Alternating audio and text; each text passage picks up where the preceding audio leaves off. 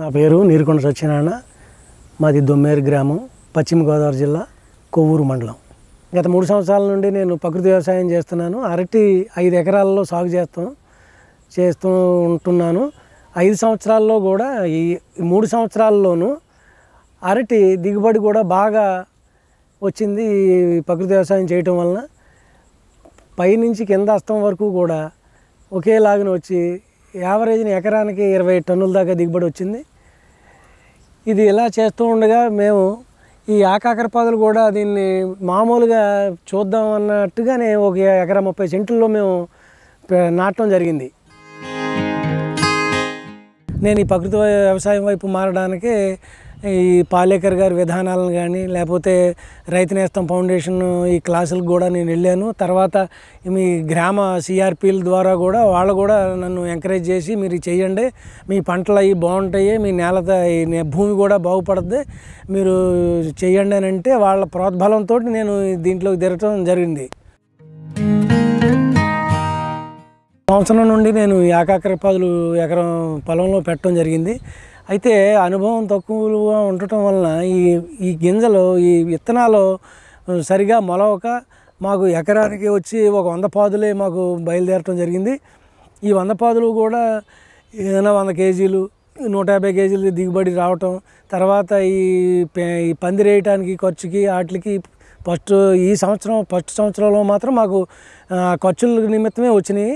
డబ్బులు. తర్వాత ఈ సంవత్సరం అయితే మేము అది అనుభవాన్ని గత అనుభవాన్ని దృష్టిలో పెట్టుకుని మేము మామూలుగా విత్తనాలని మామూలుగా మొలక కట్టి ఆ మొలకలను మళ్ళీ తీసి మామూలుగా రెండు అడుగులన్నర రెండు అడుగులన్నర ఎడంలో పది అడుగుల దూరంలో మేము ఈ గట్ల మీద ఈ బెడ్లు చేసి గట్ల మీద నాటడం జరిగింది.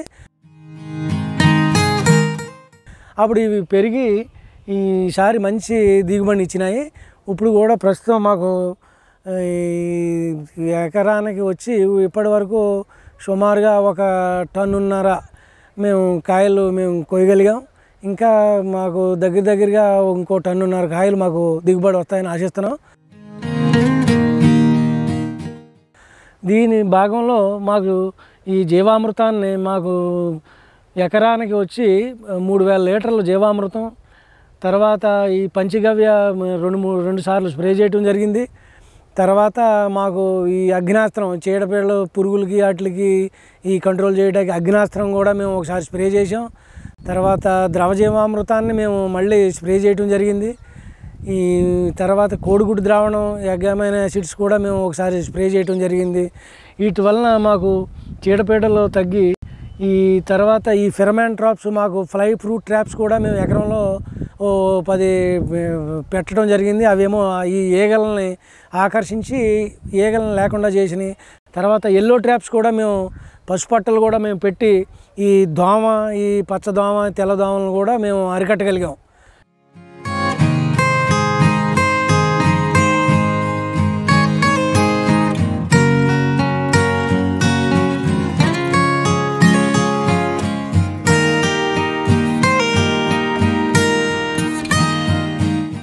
మామూలుగా అయితే యాకాకర నాటిన నాటి నుండి యాభై రోజుల తర్వాత మనకి కాపుకి వస్తుంది. ఈ ఇది ఆ కాపుకి వచ్చిన తర్వాత మామూలుగా రసాయనాలు వాడటం వలన మూడు నెలల లోపలనే మనకి ఈ కాపు ముగుస్తుంది. ఇప్పుడు ఈ ప్రకృతి వ్యవసాయం చేయటం వలన మనకి అదనంగా ఒక నెల రసాయనాల కంటే వాడటం వలన కంటే ఒక నెల అధికంగా మనకి కాపుకి బాగా దిగుబడిని ఇస్తూ ఉంటుంది. అయితే ఇది మొత్తం మీద నాలుగు నెలలు కాపుదల మాకు ఈ పక్కు వ్యవసాయం వలన మాకు వస్తూ ఉంటుంది. దీనివలన ఈ మాకు పెట్టుబడి ఖర్చు కూడా బాగా తగ్గింది. రసాయనాలు అయితే మాకు నెలకి మొత్తం మీద పెట్టుబడి పాదుకి ఒక యాభై వేలు ఖర్చు అవుతూ ఉంటాయి పంట కాలంలో. కానీ మాకు ఒక ఇరవై వేలతోటే మాకు ఈ రసాయనాలకి ఈ కషాయాలు ఈ తయారు చేసుకోవటానికి పోయటానికి మనుషులకి ఒక ఇరవై వేల రూపాయల ఖర్చుతోటే మాకు సరిపడింది.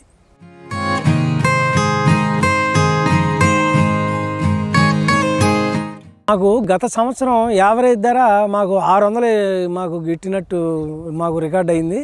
ఈ సంవత్సరం కూడా మాకు ధర ఫస్ట్ స్టార్టింగ్లో పదమూడు వందలు తర్వాత పదకొండు వెయ్యి ఇప్పుడు తర్వాత తొమ్మిది వందలు ఇలా యావరేజ్ ధర మాకు ఎనిమిది వందలు మాకు గిడతా ఉంటుంది.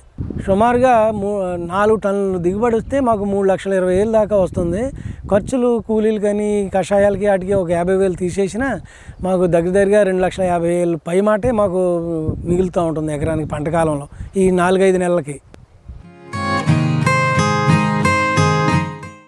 మొక్క నాటిన నుంచి కూడా ఈ తెల్లదోమ ఈ తెల్లదోమలు ఆశిస్తూ ఉంటాయి ఈ తెల్లదోమలకి కొంచెం నేమాత్రం అని వేప కషాయం కానీ అలా కూడా పిచికారీ చేస్తూ ఉండి వాటిని అరికట్టి కొంచెం పెరిగాక బాగా పందిరి సైజుకి వచ్చిన తర్వాత ఈ పెర్మెంట్ డ్రాప్స్ అవి పెట్టుకుని ఈ ఈ దోమల్ని ఈ ఏగల్ని అరికట్టగలిగి తర్వాత ఈ ఈ పురుగులు కూడా పచ్చ పురుగు కూడా అప్పుడప్పుడు వస్తూ ఉంటాయి. ఈ పచ్చ పురుగుల్ని మనం ఈ నేమా అగ్నాస్త్రం ఈ నేమాస్త్రం ఇవన్నీ పిచికారీ చేసుకుని వీటిని అరికడితే మనకి మంచి దిగుబడులు వస్తూ ఉంటాయి.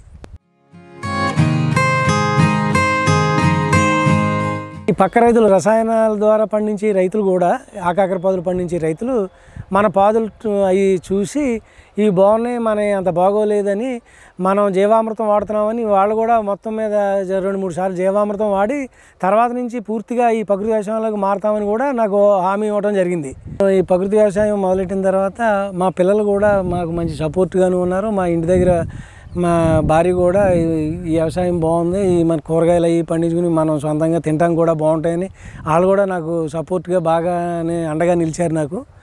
ఇది చాలా ఈ చేయటం వల్ల చాలా ఉత్సాహంగా కూడా నాకు అనిపిస్తూ ఉంటుంది ఈ వ్యవసాయంలో. ఎందుకంటే జేబులో డబ్బులు ఖర్చు ఏదైనా చిన్న పిండికి ఆటికి తప్ప అన్నిటికీ ఖర్చు తక్కువ.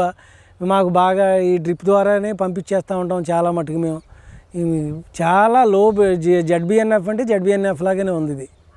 ఈ జడ్బిఎన్ఎఫ్ అంటే జీరో బడ్జెట్ న్యాచురల్ ఫార్మింగ్ అన్న తగ్గట్టుగానే ఇది ఖర్చు తక్కువలోనే బాగుంది. ఈ అందరూ కూడా చాలా ఈ చుట్టుపక్కల రైతులు కూడా ఫస్ట్లో నేను చేసినప్పుడు చాలా ఎటకారంగాను అలా ఇలాగా ఉన్న వాళ్ళందరూ కూడా మళ్ళీ ఈ దావకే వచ్చి చాలామంది రైతులు చుట్టుపక్కల ఈ గ్రామాల్లో నన్ను చూసి చాలా ఆదర్శంగా తీసుకుని వాళ్ళు కూడా ఒక డ్రమ్ము రెండు డ్రమ్ములో పెట్టుకుని చేయటం చాలామంది చూస్తున్నా ఉన్నాను. చాలామంది మారారు. భవిష్యత్తులో కూడా ఒక పది సంవత్సరాలు పోయేటప్పటికి ఇది ఈ నేల తల్లిని కాపాడట కూడా ఇది తప్ప వేరే గత్యంతరం ఉండదని నేను ఆశిస్తున్నాను.